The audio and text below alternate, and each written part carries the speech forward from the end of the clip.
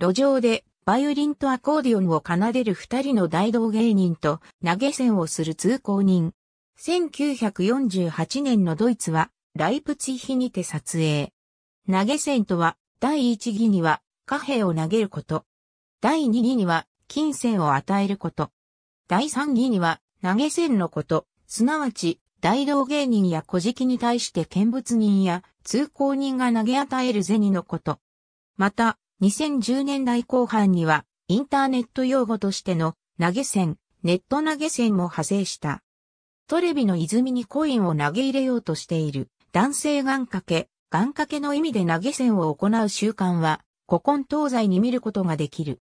古来、後ろ向きでコインを投げ入れると、願いが叶うと言い伝えられてきたのは、トレビの泉である。中国人あるいは中華圏の人の間では、幸運などを願掛けして、小銭を池などに投げ入れる習慣がある。日本では2010年代前期半ば頃から官民一体となってインバウンド消費を推し進めた成果として中国人観光客がどっと押し寄せたが素晴らしい観光地であるがための願掛けの投げ銭が推しの八海などの禁止される地域でまで多発してしまい社会問題になったりもした。注意されようとも自分がどうしてもやりたいことは構わずやってしまいがちな中国人の気質と母国では日常的にやっているだけにそもそもなぜ悪いのかが今一つ納得できていないこともあってか注意看板を立ててもビラを配って周知徹底しようとしても大した改善は見られなかった。中国人のこの習慣が大事に発展してしまった例もある。中国人にとっては素晴らしい空の旅をする際の登場する飛行機でさえも投げ銭の対象となっているのであるが、2017年6月27日、上海浦東国際空港で中国南方航空の飛行機に登場する予定であった80歳の女性は安全祈願として一元硬貨9枚を飛行機のジェットエンジンの空気取り入れ口に向けて投げ、1枚が入ってしまった。そのため、フライトは5時間以上遅れる事態になった。この女性が厳しいお咎めを受けたという報道はない。しかし、大きな代償を払うことになった人もいる。2019年の中国本土でのこと、人生初の空の旅をしようとしていた中国人男性ルーチョは、不用意にも登場予定のエアバス A320 ネオのジェットエンジンの空気取り入れ口に向けて数枚の一元硬貨を投げてしまった。空港職は離陸前の点検でエンジン付近に落ちていた効果に気づき、その便のフライトは直ちに取り留めとなった。男性は公共の秩序を乱した罪で10日間の交流に処せられた。乗客のキャンセル費用や点検に回すことになった機体にかかる諸費用などは男性が全額を損害賠償することとなり、その額は日本円にして約186万円であった。効果のような硬いものがエンジンの内部に入り込んでしまうことは設計上想定されておらず、入り込んでしまった場合、エンジンの損傷は避けられず、最悪の場合は大破する。飛行機に向けて投げ銭をしてはならない。制御としての路上パフォーマンス。1993年のチベットはラサにて撮影。自己表現としての路上パフォーマンス。プラハ場外で演奏を披露する大道芸人トリオ。2005年撮影。古くから行われてきた行為としては、小敷にアーレミを持って投げ与える金銭を指す。これを投げ銭という。また、その行為をも指す。日本語では古来与えられる側の呼び方でお恵みがあった。他者からの恵みの一つの形である。他方、古事記へのお恵みと意味において地続きでありながらもポジティブな意味合いを持っているものが多い形に、大道芸人やストリートミュージシャンのように路上などでパフォーマンスをする人への賞賛を兼ねた投げ銭もある。1878年発表の児童文学、家なき子で描かれているような貧民が生活手段として身につけた大道芸で旅芸人として報酬を得る例は、芸を持たない小敷がひたすらに他者の慈悲を求めるのとは違って、パフォーマンスの対価を受け取っているわけであるが、始めた動機はといえば、今日の明日のパンが買えないという、やむに止まれない、いわば古事記よりのものである。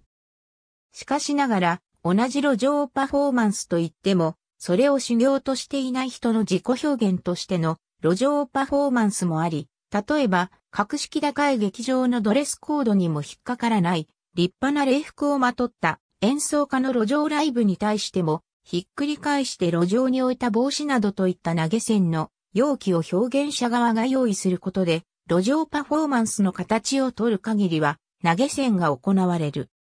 なお、路上パフォーマンスに対する投げ銭は、古来日本の園芸の世界で行われ続けている、金銭を紙に包んで渡す行為、及び、その金銭を意味する、おひねり、おひねりと強く結びついているように思われがちであるが、おひねりの方は神仏に対する供物に起源があり、背負っている歴史が違う。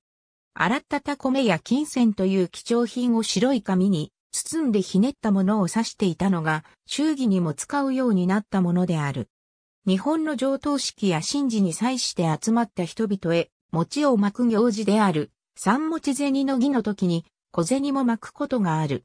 また、日本での葬儀の際に、花籠やザルから銭や餅を入れ落としながら葬列する風習もある。小銭を投擲する形にはなるが、不特定多数にに対して行われるため、幕の字が当てられる。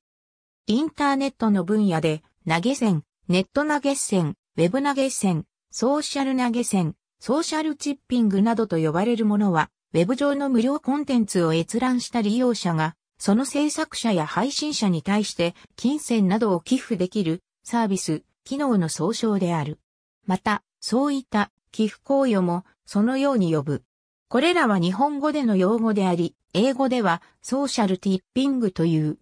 また、その日本語音社型は上実の外来語、ソーシャルチッピングや混成語、ソーシャル投げ銭などを派生させている。寄付する金額は利用者が決める。少額から行えるものが多い。直接的な金銭提供から運営サービスのコンテンツ利用のポイントで提供する事例がある。報酬型は直接集計からの提供と原資からの提供が主流。日本においては2020年8月6日、ドワンゴが第三者の用語利用の悪意ある制限を排除する目的で特許庁に商標登録を行った。登録番号627万1896、区分9、38、41、42。小銭を投擲するという意味では同じではあっても、上述したものとは全く異なる投げ銭や銭投げもある。関営通り、宝新中東四分線日本では、野村古道による1931年初出の小説でテレビ時代劇の定番にもなった銭形平次鳥物控えで、主人公である江戸の目明かし平次が繰り出す必殺技としての投げ銭が有名であった。これは逃げようとしたり歯向かってきたり人質を殺そうとしたりする敵の動きを見定めた平次が十手を格好よく構えつつ、当時の庶民であれば誰でも紐を通して持ち歩いていたであろう四分線の一枚を素早く取り出し、相手の頭や手元などに投げつけ、非戦を制するというものである。テレビ時代劇の主題歌でも、今日も決めての今日も決めての銭が飛ぶと歌っている。なお、二代目、大川橋蔵が平次を演じたシリーズでは、投げ銭の使い手が敵としても登場し、平次を追い詰める。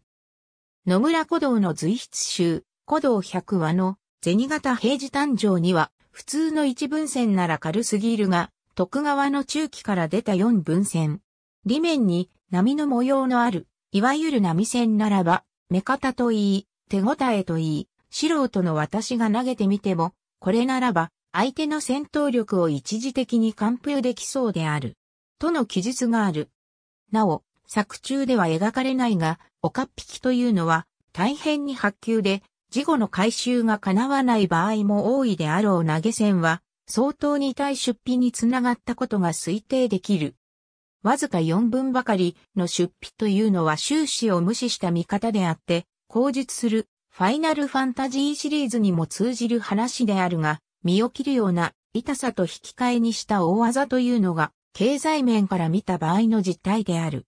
銭投げは、1992年に発売されたロールプレイングゲーム、ファイナルファンタジー V に登場する攻撃系の獲得技能の一つ。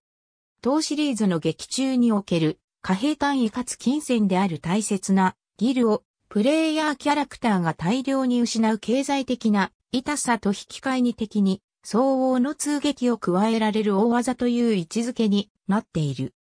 このアイデアはユニークな戦闘方法としてファンにも受けが良く、常にではないものの、以降のファイナルファンタジーシリーズにも登場することとなった。外伝的作品である2009年発売の光の四戦士、ファイナルファンタジー外伝マイナスでは、同じコンセプトの技が、商人が獲得できる最上級の大技、金次第という形で登場している。欧米版での技名は、金が物を言うという意味を持つマネートークスであった。